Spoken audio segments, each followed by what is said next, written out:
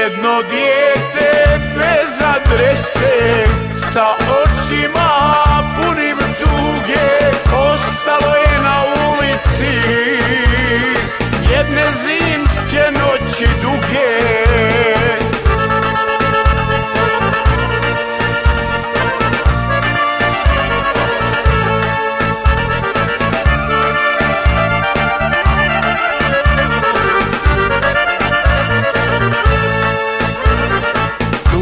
Tužno gleda, milostinju traži.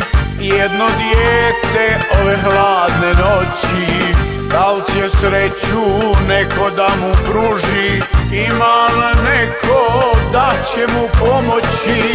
Ima li neko da će mu pomoći? Jedno dijete bez adrese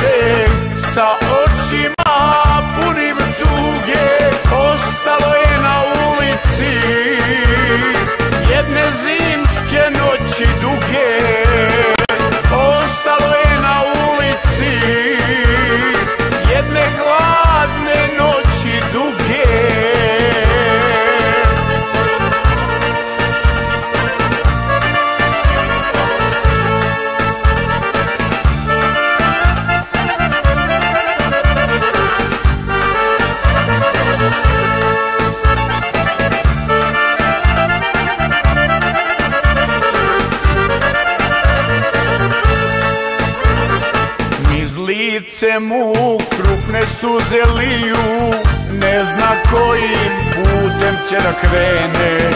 Zar je Bože dijete zaslužilo Da mu mladost nevinom uvene?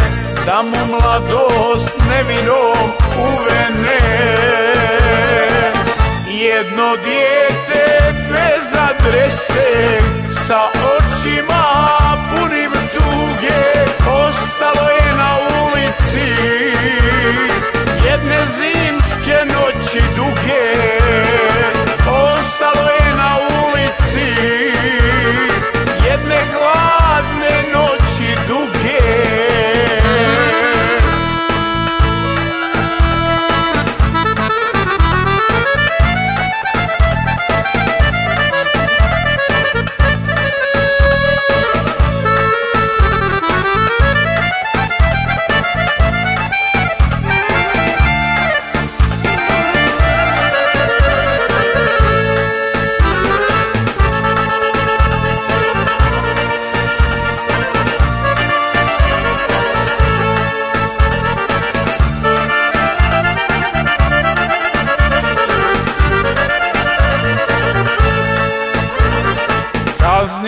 Bože one koji griješe Što im nije do djeteta stalo.